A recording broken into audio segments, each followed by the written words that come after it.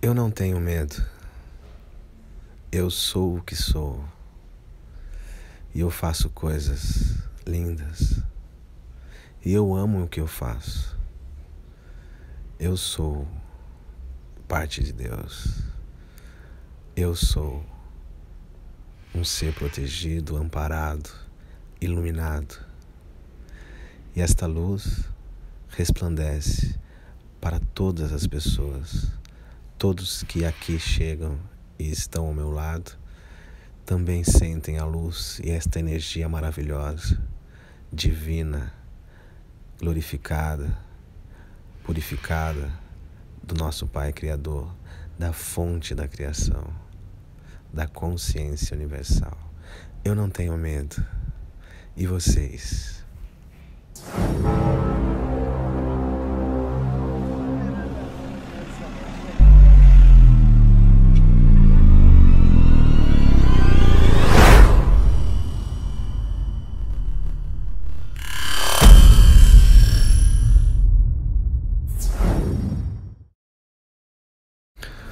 Que você tem medo? Do que você tem medo em sua vida? Do que você tem medo sobre si mesmo? Quando você vê uma mensagem sobre o fim do mundo, sobre apocalipse, sobre transição planetária, o que, que você pensa? Que o mundo vai se acabar? Que nada mais vai existir ou que irá sobreviver somente aqueles que estiverem na frequência do amor? Do que vocês têm medo quando veem os sinais da volta de Cristo? Vocês têm medo de não estarem aptos, de não serem escolhidos? Vocês têm medo que não estejam prontos dentro de vocês, em suas atitudes, em o que você já praticou, em o que você já viveu e como vive hoje? Do que você tem medo?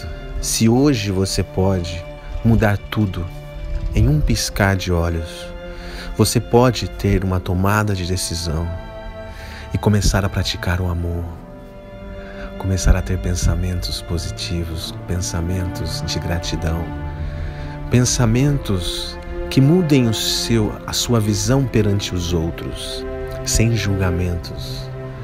Não devemos palpitar sobre a vida alheia. Devemos dar o abraço e a mão para ajudar. Cada um tem o seu próprio núcleo de atitudes e sentimentos. E tudo que expressamos para fora é um reflexo de nós mesmos. E este reflexo é expandido para o cosmos e é refletido para nós novamente. Tudo que expressarmos terá duas oportunidades para nós. Uma é aprender com os erros, e a outra é obter todas as recompensas divinas que estão disponíveis. Quando praticamos o mal, temos a chance de se regenerar, de se redimir e de não cometer mais as mesmas atitudes. E quando praticamos o bem, temos a chance de receber as divindades e as recompensas para que nossas vidas sejam cada vez mais amorosas, cada vez mais impulsionadas ao bem, à luz e ao amor com que nós fomos criados. Quando você ouvir falar dos sinais dos tempos vindouros, dos sinais do Apocalipse, dos eventos cíclicos que estão acontecendo no planeta Terra, da transição planetária, do Apocalipse, ou até sobre o fim do mundo, como muitas pessoas acham que isso exista, lembrem-se que Cristo veio há dois mil anos atrás falar a mesma coisa, relatar a mesma coisa. tentar plantar a semente do amor dentro das pessoas para o mesmo momento do grande evento que está chegando, se aproxima. Então pense que isto é a glória de Deus, é glorificar o nosso Pai.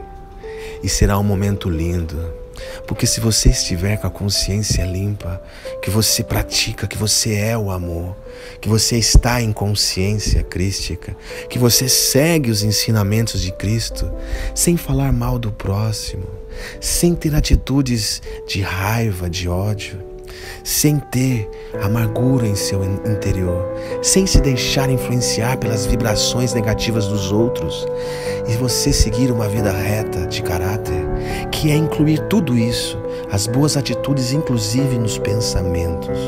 Se você pensa algo, você já está criando algo. Se você fala algo, com o empoderamento das suas frases, já estará criando também. Então, lembrem-se que se Cristo veio aqui para nos avisar, levem em conta tudo o que nós passamos adiante, todas as informações que nós deixamos para aquelas pessoas que precisam despertar. E mesmo em seu processo de despertar, ela não está pronta ainda, ela não atingiu o nível crístico para poder compreender e avaliar tudo o que está acontecendo ao mesmo momento essas imagens, essas notícias, tudo que está acontecendo no planeta Terra é mais outros e outros e muitos e muitos avisos do que está por vir. E não é para ter medo, era é para ficar feliz que tudo irá mudar. Um novo, um novo mundo chega diante de nós. Cristo está nos olhando neste exato momento e segurando o máximo que pode para que mais pessoas despertem e possam realmente estar prontas para estar ao seu lado. Muitas bênçãos a todos, muita luz, muito amor. Sejam felizes como eu. Amem a vida, amem tudo, toda a criação, tudo que existe, a mãe natureza. Abracem seus parentes, sua família, seus amigos. Amem, amem, amem, aprendam a amar, aprendam a não se expressar de forma errada, porque cada gesto que nós praticamos hoje vem de uma forma mais intensificada para nós mesmos. Muitas bênçãos e até a próxima. Once upon a time, I, the soul, the being of light, live in my home, the home of all souls. My Father, the highest of all beings, also lives here. In the midst of peace and serenity, at some point a stirring happens within me. The stirring pushes me to come down to a wonderful new world to play my part.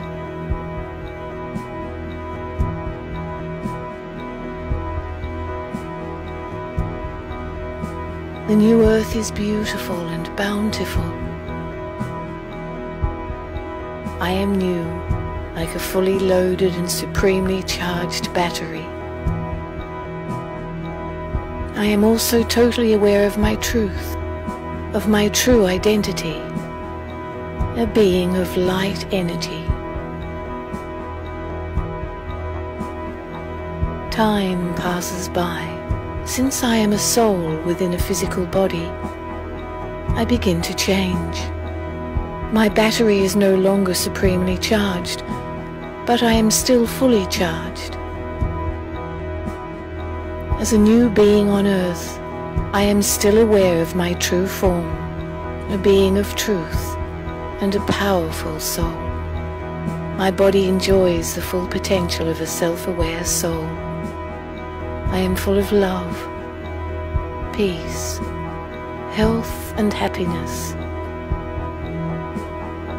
Then a shift begins. I forget myself, my true identity.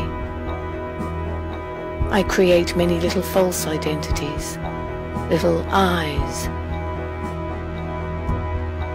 possessions, talents, wealth, beauty, strength. I begin to identify myself with these eyes, that these are components of my whole being. I become body conscious. The biggest evidence of this shift is I begin to experience sorrow. Comparison and competition became a common phenomenon.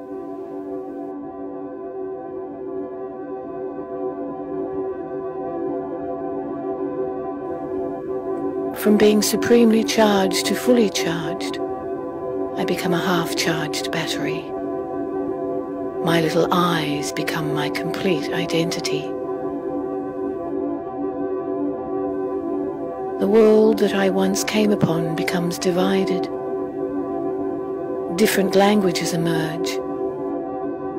The idea of religion, such as Islam, Buddhism and Christianity, grows and attempts to lessen the feelings of conflict and sadness. Yet sorrow and pain continue in the world.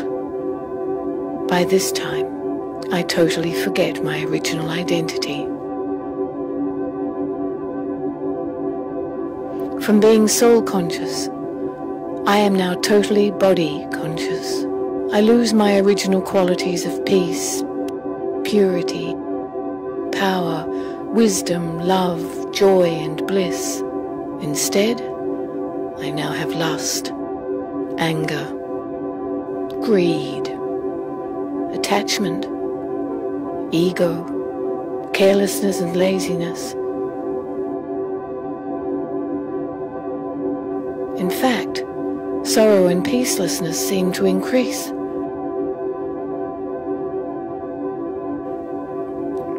My transformation into a physical being is almost complete. My battery is almost completely drained. My true identity is crowded into a little corner by my little eyes.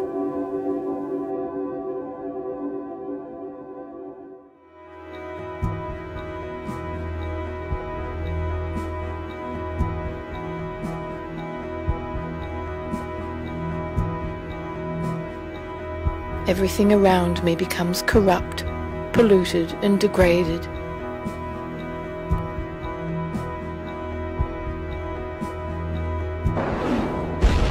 In the midst of this chaos and immorality, God, our Father, the Supreme Being, comes to us. He reintroduces himself to us and tells us our story. In this way, he ultimately introduces us to ourselves, to our true, original selves. He tells us about the secrets of life, actions, relationships, fortune and misfortune, victory and defeat. He teaches us Raja Yoga. This connects us to Him, the Supreme Being our true power generator. We begin to recognize our true selves. The soul, a being of metaphysical light, very much like our Father, the Supreme Being, divine and complete. I awaken and rekindle my true characteristics, become fully charged once again and return home.